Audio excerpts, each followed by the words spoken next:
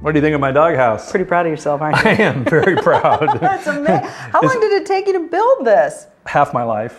No, Are you done? I, no, I'm not actually done. Oh. There's some areas that I need to paint. I need to finish up the roofing, but you know the dog will never know. you know, he'll he'll be inside watching TV, you know, Right. snacks. No, but this is very basic construction. But I wanted to point out that I did put some insulated siding on here because that'll help with the warmth in the winter and the cold in the summer. Oh my Uh, it- goodness, it's you know, exactly it's- like a house. It's perfect for the dog. I want to live this live be in a kid's playhouse? You, it could, yeah. You can modify the plans. taller. A little taller, bigger door. I created mine to be somewhat of a box. And what I did to make it easier is I purchased these panels. Now you can purchase these at a home center store already cut. This size. 24 by 36, of course. I cut mine down to size because this is going to be for a uh, spaniel. So this is the perfect size for that dog. Okay. So I cut it down the size, and the next thing I did is I laid out my, my door, and I made really, you know, heavy pencil lines so I can cut this out with my jigsaw, and then I sanded it smooth. Okay. So once that's done, you want to start the assembly. So I cut my other panels with a, a uh, circular saw, if you can hold that. Yeah. And the key to the whole thing are these corner posts. These are just little two inch by two inch posts that, of course, you will cut down the size using your miter saw. Yeah. And then I just attached it by screwing from the outside into this post. And I use galvanized screws so that it will be weather tight and they won't rust. So you build your basic box so you have a four panel box. Nice and sturdy Like then. that, right? And I'll just hold this with my leg. And then once you have your box set, Shari, if you can hold this, I'm gonna lift yeah. the lid here. Let's lift this up here. I put this on a piano hinge so that the homeowner or the dog owner can actually lift this up and clean inside here. There's a piano hinge on the back so they can lift it up and clean inside. That's not gonna like fall on your back. No, now this actually is just for demonstration purposes. You don't want to do this. Please don't do this.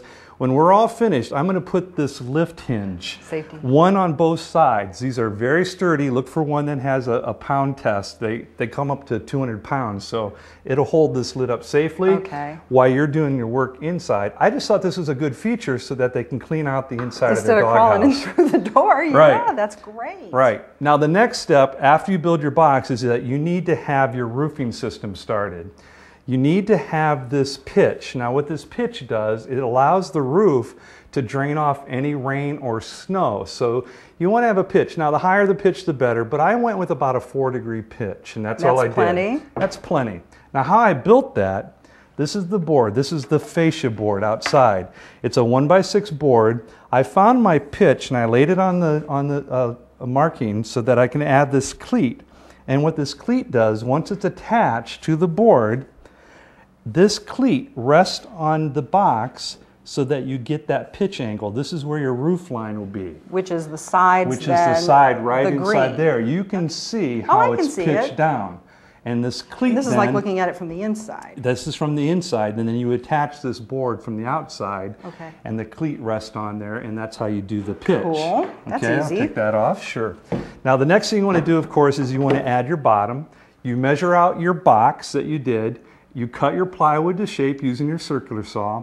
Flip everything over, attach the bottom, and just dr- drill some screws in. Oh. And galvanized screws again, so you have your bottom. I did coat it with a primer. There, it is primed underneath because it is going to have weather. You know, there's Does be. it sit on the ground? It, well, this one won't. You can build all sorts of different post systems. Oh, okay. I'm going to put this actually on two pieces of pressure treated lumber that looks like a sled, so Oh, it can be moved around. So you can do that. Um, so you want to put your bottom on. Now let's turn our attention to the roof because this is really kind of critical. You want to make sure that you have a nice system to keep it dry inside. Again, plywood base. Yeah. I build it so it's about two inches over the edge so that there's a little drip off. Nice lip. Then I started adding all the things that you would do for a normal roofing. This is drip edge. I know, you just put this on. You attach this with a couple of nails, and you want to make sure your nails aren't longer than your plywood so your nails don't drive through it. You attach this, hold that. This- how do you cut this? Tin snips, that's all you need to do for Okay, that. well, that's easier now. Yeah, so you got that. You have you cut that. You make sure that that's dry, and then I have some. I know this. I know you think I'm probably crazy, but again, as a dog owner, I would make, make sure that this is weather tight, Well, wouldn't you, you? want to protect them. You're putting them out in the cold. Okay, so this is a felting material. This goes on next. You put this across the plywood, you overlap it, you just staple it on, you use a staple gun, and you just pump, pump, pump, staple it on, and you kind of go over the drip edge a little bit so that that's sealed too. It's exactly like building a house. It's exactly like building the house. I'm going to turn it a little bit so that maybe we can see the roof real quick.